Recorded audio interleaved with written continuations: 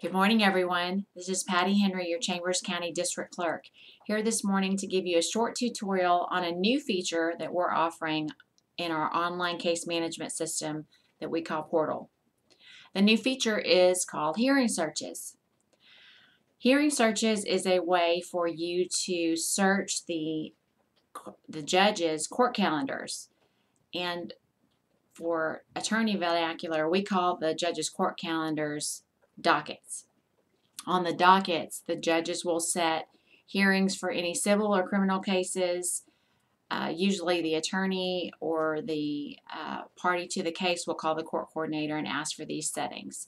So, this function allows you to see that information on our online system.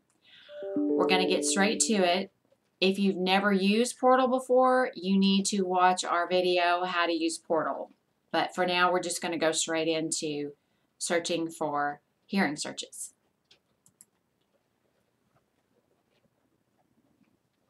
First thing we're going to do is we're going to go to the Chambers County website.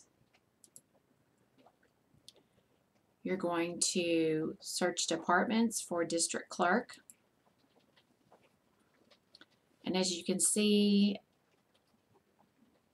here are instructions for virtual pleas and paperwork requirements. That's for our attorneys.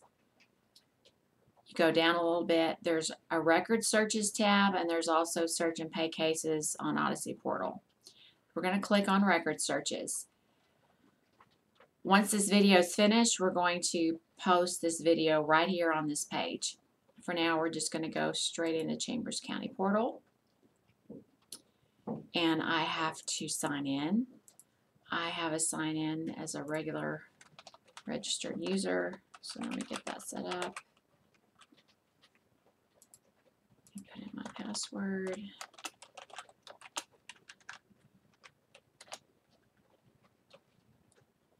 And we're in. As you can see, you can make a payment, you can do a smart search, which is just searching for a court record, or you can search hearings. So let's click on that. There are a couple of different locations. You need to choose the correct location. If we're going to go straight to district courts, because that's what we deal with. We're going to select the hearing type, which we have AG, civil, CPS, and criminal dockets. We're going to go straight to civil and family dockets. And the first thing we're going to search for is a specific case number. So if you already know your case number, you just type it in the system.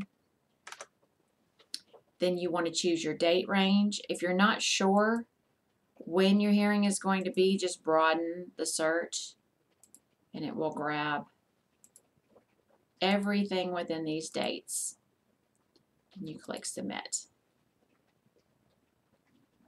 As you see, it will come up with hearing searches for case number between these date these date ranges.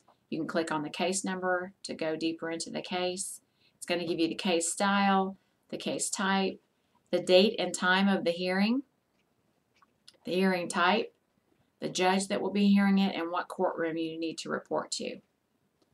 And as you can see, this case has several settings, one for July 6th, July 17th, and July 27th.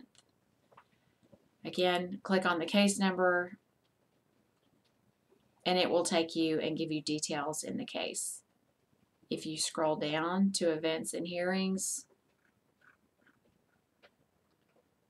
you will be able to view the documents. You click on that and you can view the documents for free and it goes through the entire case. This is the way you can track your case. You can go back to hearing searches if you want to look at a different setting or you can click on search hearings and start over. It's pretty simple. Right now, we're going to search for by attorney name. As you can see, you can search by your party name. If you're a party to the case, you can search by attorney name. We're going to search an attorney. This is a fantastic function for attorneys because they can see, they can double check their calendar, set their calendar based on these settings.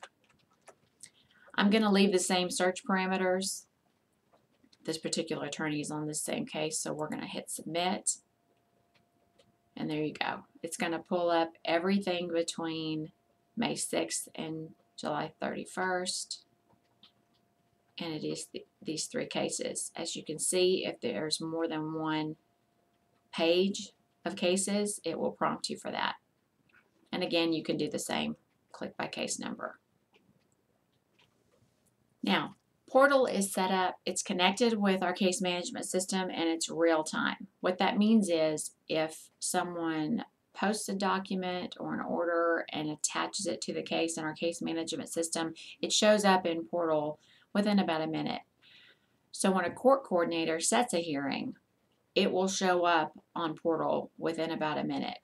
If you do not see your case setting, or if you made a phone call to the court coordinator and it hasn't shown up in a couple of minutes or five minutes, just give them a call or communicate with them. If you have any questions about the system or how it works, or you're, you don't feel like your access is correct, you can contact the district clerk's office at districtclerk at chamberstx.org. You can call us or you can come in and visit us and, and we'll help you get you set up. Chambers County is happy to offer this service to our constituents. We feel that it's a very valuable tool. It saves you a lot of phone calls and a lot of travel time. And we are happy for you to use the system and look forward to doing business with you in the future. Have a fantastic day.